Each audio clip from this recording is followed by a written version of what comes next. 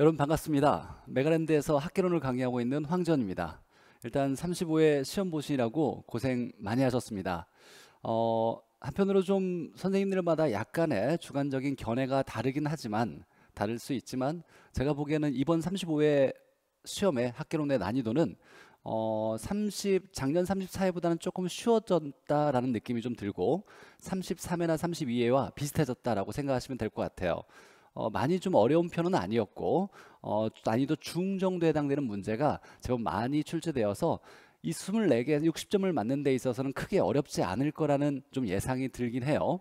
잠깐 좀 이제 35회 시험 나왔던 거에 한번 총평을 한번 분석을 해보면 자 35회 이제 이렇게 대비하자로 봤을 때 어, 문제 단원별 구성은 사실 크게 달라진 건 없고 언제나 좀 변화됐던 것이 투자론이었죠. 투자론. 투자론 하나만 어, 올해 예상과는 다르게 저는 34회 좀 많이 출제되어서 35회도 많이 출제될 거라고 예상을 했었는데 이번에 투자론이 세 문제 출제되면서 전체 난이도를 좀 낮추는 역할을 분명히 했을 거예요. 물론 이제 난이도를 좀 높이는 데 있어서 어, 출제자가 썼던 건 총론에 일단 어려운 문제를 제법 두 문제 정도를 추가해서 초반에 좀 어렵게 느낌이 왔을 것 같아요.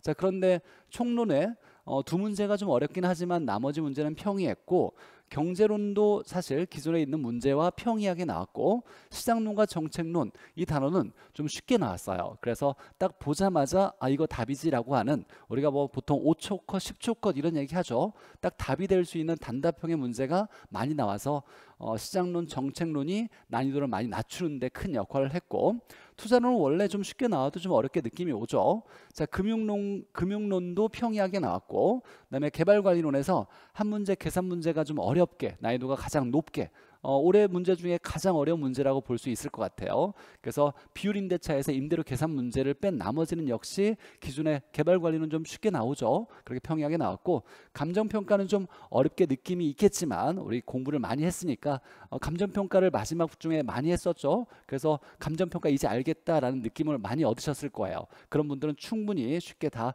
풀어낼 수 있을 거라고 생각해요. 단 하나 이제 거래 사례 비교법에서 좀 다르게 문제를 약간 좀 변형시켜 서 응용 문제가 좀 나왔긴 했는데 조금만 집중해서 본다라면 어 답이 없네? 뭐가 문제였을까를 한번 해석해 보면 쉽게 또 답을 찾을 수 있는 문제였으니까. 자 이제 단원별 구성은 골고루 나왔고 투자론만 적게 나와서 전체 나이도 좀 낮아졌고. 자 계산 문제는 아홉 문제가 출제되었는데 계산 문제도 역시 하나 개발 관련해서 비율 임대차를 뺀 나머지는 기존에 나왔던 문제와 거의 숫자만 바꿔서 유사하게 나왔고 몇 문제 몇 문제 정도는 시간이 많이 걸려서 스킵해야 되는 문제 유형도 있겠지만 딱 우리가 이거 나오면 이렇게 해서 풀겠다라고 했던 공식을 대입해서 쉽게 찾는 문제가 적어도 네다섯 문제가 나왔어요. 그래서 올해 합격의 가장 큰 관건은 이 계산 문제를 네다섯 문제를 네 문제 이상을 풀어냈다라면 이게 10점이죠. 계산 문제 포기하지 않고 마지막까지 계산 문제를 열심히 했던 분들은 어, 이변 없이 충분히 합격 점수 이상을 맞았을 거라고 생각됩니다. 계산 문제 절대로 포기하면 안 된다. 어려운 건 어려울 수 있지만 사실 언제나 18가지 유형 중에 어, 10개만 내가 정확히 할 수 있겠다라는 생각을 가지고 시험장에 가면 네다섯 문제를 맞출 수 있다는 생각을 꼭 하시면서 계산 문제가 더 중요해졌다라고 생각하셔야 될 것 같아요. 자 난이도를 보니까 난이도는 역시 선생님마다 좀 이견 차이가 있을 수 있습니다. 어, 제가 봤을 때 난이도 상의 문제가 9문제, 난이도 중의 문제가 17문제, 난이도 하의 문제가 14문제인데 이 난이도 중이라고 제가 이렇게 구분을 했지만 사실은 어, 선생님마다 난이도 하에 해당되는 문제일 수 있다라고 생각되는 문제가 제법 많이 돼요. 여기에서 한 7문제 정도는 여기에서 중이냐 상이냐 이렇게 변수가 될 수 있는 문제라고 볼 수 있어요. 그래서 사실 이 난이도 중하의 문제가 이렇게 30문제 이상 나왔다는 건 전체 난이도가 그렇게 많이 어렵지는 않다라고 평가가 됩니다. 다행스러운 일이죠. 충분히 공부 열심히 하셨던 분들은 마지막까지 포기하지 않았던 분들은 충분히 합격 점수 이상을 맞았을 수 있을 거라고 예상이 되고 있긴 해요. 자, 36회를 대비하기 위해서 잠깐 언급을 하자면 35회를 바탕으로 해서 추세적으로 좀 분석을 해보면 36회 역시 계산 문제가 언제나 네다섯 문제를 풀 수 있게 준비해야 된다. 어, 작년만 유난하게 제가 그런 예상은 분명히 말씀을 드렸어요. 작년에 가장 역대적으로 계산 문제가 어렵게 출제가 되었죠. 그래서 그 전에 계산 문제 해봤자 시험장에 못 푸니까 아예 계산 문제 나는 안 할 거야 라고 했던 분들은 좀 낭패를 볼 수 있는 이번 문제가 나왔고 어, 역시 네 문제에서 다섯 문제는 그냥 딱 1분 안에 충분히 답을 찾을 수 있는 계산 문제가 나왔으니까 계산 문제를 절대 포기하지 않고 마지막까지 할 수 있는 계산 문제 유형을 잡고서 연습을 해야 되는 게 가장 중요한 이번 학계론의 특징이 될 것 같고 개념과 용어를 명확하게 이해해야 된다라고 나오는데 학개론 역시 좀 개론이다 보니까 다양한 범위가 넓어지고 다양한 용어와 개념이 등장하죠. 이런 것들을 정확히 해석하는 게 필요하다라는 거고 이건 뭐 개론 특성상 굉장히 중요한 특징이긴 하죠.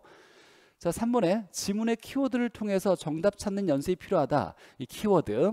사실 어, 체감 난이도는 생각보다 높게 느껴졌을 수 있어요. 시험장에서 시험 보신 분들은 아 이번에 망했어 어렵게 나왔어 야 모르는 게 많이 등장했어 라는 느낌이 있겠지만 실제로 집에 가셔서 차분히 답을 체크하셔서 어, 맞춰본다라면 생각보다 점수가 높게 나온 게 많을 거예요. 그 이유는 뭐냐면 앞에 1, 2, 3, 4번 지문이 어려운 거 특히 또 시험에 우리가 배우지 않았던 내용들도 시험 범위를 벗어난 문제들 지문들도 등장했는데 마지막 4번 5번에 어 이거 나오면 틀리지 이거 나오면 맞지 라고 했던 지문이 명확한 지문들이 이렇게 뒷부분에 많이 걸쳐져서 옳은 걸 찾을 때 키워드를 정확히 알면 어 내가 나머지 지문은 모르더라도 답을 찾는 데는 좀 수월한 문제가 제법 나왔어요.